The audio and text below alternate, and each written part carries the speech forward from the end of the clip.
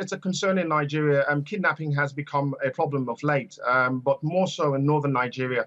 Boko Haram has made things very, very difficult. Um, clearly, they are trying to show that they are part of the wider jihadist movement that's cuts across West Africa, that has become apparent in Algeria and in Libya. Um, clearly, they've actually shown that they have the capabilities to cause problems, and uh, this is just one step uh, of them showing that capabilities. But uh, it's a worrying sign for the Nigerian government. Um, they've tried at best at times to actually contain Boko Haram. It's been proved very, very difficult. But um, it would appear that this time around, they're going to do one more better than they've done previously. So, Aya, what do they want? What will they demand?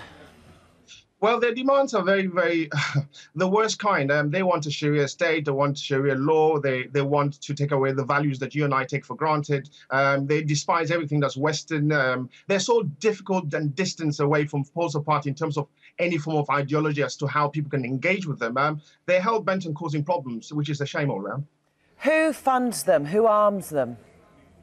Well, um, Boko Haram specifically, um, it's been claimed that they're getting support internationally, um, but they are part of the wider jihadist movement. There, they, they they have similar ideology with uh, the Al Shabaab movement in Somalia. Again, um, the wider jihadist movement across North Africa they're affiliated with. They all have a common ideology, and they all seem to be able to support one another when they um, have a common agenda. And in this this particular case, you could see that they're keen on taking hostages to hold people to ransom and to, to get money and, and usually um, usually to buy weaponry and also to to make sure that they get they, they install fear into the community at large.